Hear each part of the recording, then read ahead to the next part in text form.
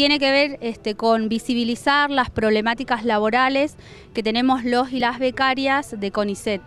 En este caso en particular, bueno, estamos en la Unidad Ejecutora de Ciencias Sociales, que es de doble dependencia, este, depende de CONICET y depende de la Universidad Nacional de Jujuy.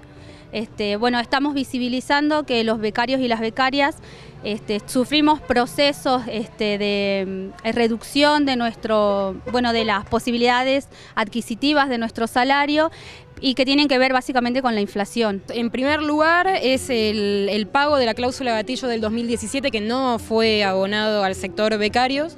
Después, eh, entrar en las paritarias del 2018, que es un tema que todavía no está resuelto, no se sabe si los becarios vamos a entrar dentro de lo que es la paritaria 2018.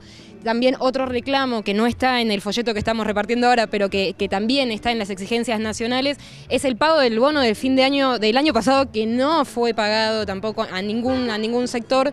Hay que aclarar que eh, los becarios no cobramos, los y las becarias no cobramos aguinaldo. Por lo tanto, el bono de fin de año era muy importante para, nosotros.